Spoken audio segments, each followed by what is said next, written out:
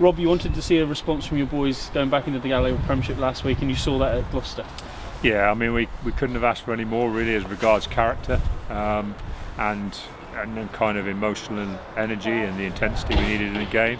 You know, I thought the guys were fantastic. You know, they really. We talk a lot here about aligning your energy as a team and as individuals into what's going to be really important on the day.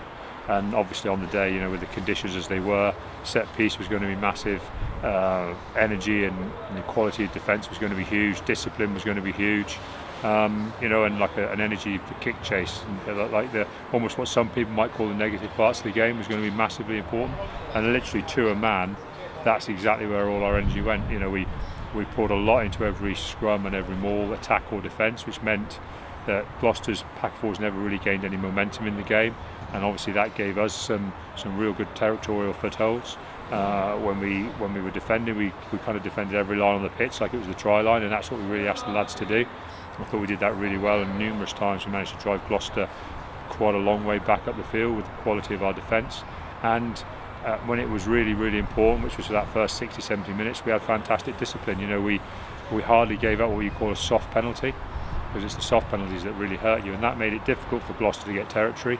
And then, as you saw, their discipline led to, to points for us, and Gareth kicked them fantastically well. You know, really led the team very well on the night, um, and it and it came out to be what you know when you as frustrating as the last 10 minutes were when you when you're sitting there and there's a couple of minutes left and you're 11 points in the lead that's a that's a pretty good win at, at Gloucester? And you take that you take that definitely nine times out of ten. You play with real flair kicking penalty goals.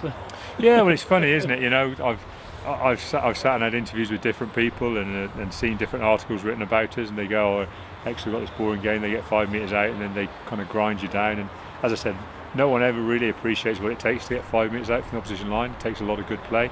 Um, but the night, the night called for a collection of points.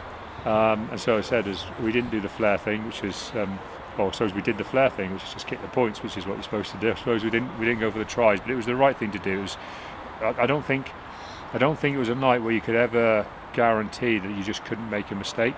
Um, and it's very difficult for an opposition to defend, kind of when they stood under their post against a kicker like Gareth and actually that scoreboard pressure built more pressure on Gloucester and allowed us actually to, to kind of play even more how we wanted to play. And you know Gloucester did come back and score uh, you know a couple of well one one try certainly. I think the second try is still a little bit doubtful. And I've heard different things from the refereeing department about the the Reece try. So you know to score come back and score at least one good try and put us under pressure for a period. And and ultimately you know we're a little disappointed with that. But sometimes you know, you do have to say, well, we got we, we let's say we, we got nine out of the ten things we wanted to do right on the day, and that led to a very good win. Northampton this weekend, top two sides in the Gallagher Premiership. Yeah. That in itself tells you it's going to be an acid test. Yeah, top of the table clash is always interesting. I mean, we're obviously very aware that um, it's not going to be a full strength Northampton side. They've got some players away, both injured um, and on international duty. It's similar for us though.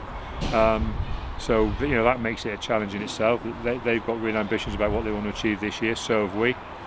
Hopefully we'll get a very good crowd here.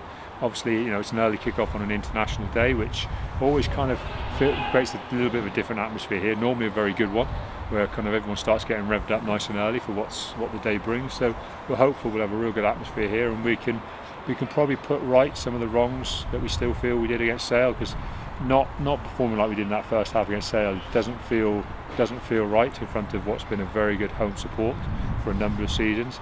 Um, I'm still a little bit annoyed by that and a little bit sore about it, and I know I know a lot of players are, and I'd like to think that we'll come out firing, looking to put that first half right still. Are you expecting a wounded Saints side though? Two home defeats that, that that won't sit well with them neither, will it? Yeah, well they're they're not they're not silly. You know, you've got to collect points as the season goes on. That's what kind of puts you in the position you are at the end of the year. They'll be looking to collect some points. They'll be desperate to to keep doing well and keep improving. And they're having a good season anyway and playing well and, and they're certainly on the upward curve. But it, it's going to be a very interesting challenge, kind of for both of us, especially with the um, the quarter final happening just in a, a, number of weeks' time as well.